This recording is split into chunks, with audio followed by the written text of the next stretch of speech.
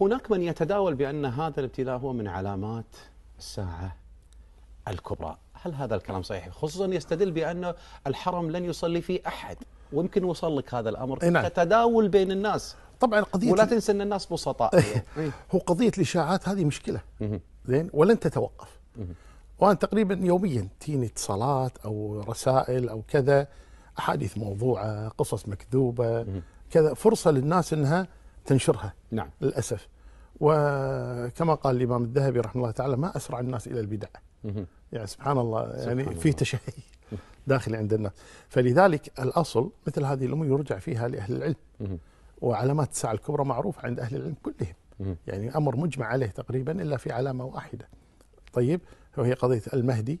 هل هو من علامات الساعة الكبرى ومن علامات الساعة الصغرى, الصغرى. مقارنة مع الريح التي تقبض أرواح المؤمنين مهم. فقضية إنها من علامات الساعة الكبرى مصيبة هذه مهم. ما أحد قال بها من أهل ما ما حد. ابدا ابدا وإنما هي قد تكون من علامات الساعة الصغرى لا ما أيضا ما أذكر إن فيها حديث لا هم هم استشهدوا بأن الحرم ما حد يصلي فيه وأن أغلقت أبوابه الحرم مرت عليه فترات أيضا ما حد صلى فيه لما جاء القرامطة وقتلوا الحجاج وأخذوا الحجر الأسود.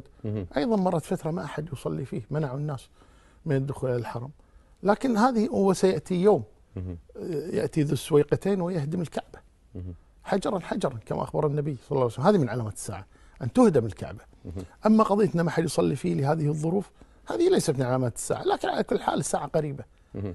وع- وساعة كل إنسان وفاته. صحيح. كل إنسان إذا جاءته ساعته انتهى الأمر. مهم. فلذلك الإنسان لا يعلق الأمور على مثل هذه الأشياء. مهم. إنها علامة للساعه علامة للساعه النبي صلى الله عليه وسلم يقول بعثت أنا والساعة كهاتين. والله سبحانه وتعالى يقول في كتابه العزيز اقتربت الساعة وانشق القمر. صحيح. فالساعة قريبه مهم. لا شك في هذا. لكن القصد أن متى تأتينا؟ علمها عند الله تبارك وتعالى.